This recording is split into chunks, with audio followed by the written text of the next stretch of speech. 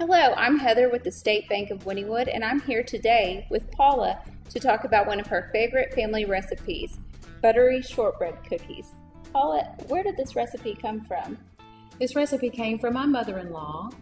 She gave it to me uh, after my husband and I got married. It's my husband's favorite cookie recipe. My children love it. Uh, they insist that I make it every Christmas.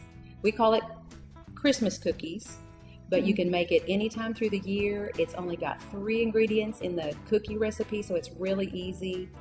Made out of real butter, so it's pretty good. Melt in your mouth cookies. Are they common ingredients that you have in your pantry usually, or are they special ingredients that you buy just for cookie making? No, it, you use real butter, flour, and sugar. So those are the three ingredients in the cookies.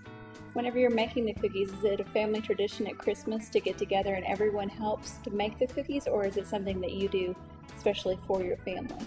I do it for my family, but usually my uh, my daughter or uh, son, son-in-law, somebody's always in there helping because you make the cookies, cut them out, and another person will ice them and uh, it's kind of a family thing. And I'm sure you always have help having them eaten too. Absolutely. Oh, yes. Well, thank you, Paula. And that's been Inside the Recipe with Paula. The State Bank of Wynnewood, member FDIC.